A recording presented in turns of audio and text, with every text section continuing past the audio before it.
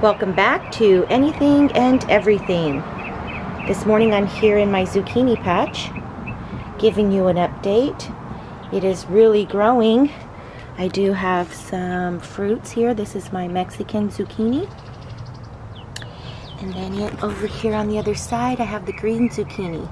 I'm really happy that it is producing but my task for today is to get rid of some of these leaves. I need um, to open it up so that the bees can get in there and help pollinate the male flowers and the female flowers. I need to remove some of these unhealthy looking leaves. They've got some white powdery stuff going on. And then I just need to get rid of some of these so um, getting rid of them helps to continue um, production. Like they'll keep growing and producing zucchinis. So here we go.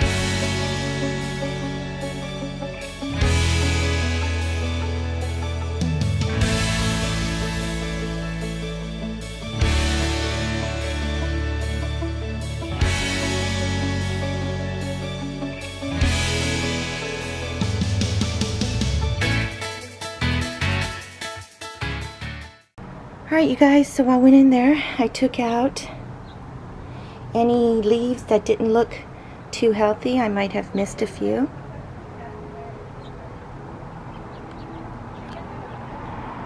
And I will check back on them to see how they're doing. I'll keep you posted.